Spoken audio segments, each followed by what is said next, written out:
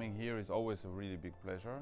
And uh, this time I could even prove it's a big pleasure because I did six days quarantine. This program touches somehow a lot of philosophical and interesting things because we have a little bit the discussion between past and future and present. There is a beautiful quote um, of Arthur Schnabel, who was a famous pianist, and he once said, um, I am not a botanist, I'm a gardener. You know, I don't care how this is called and whatever. I take a flower, I put water, and I, I enjoy the beauty.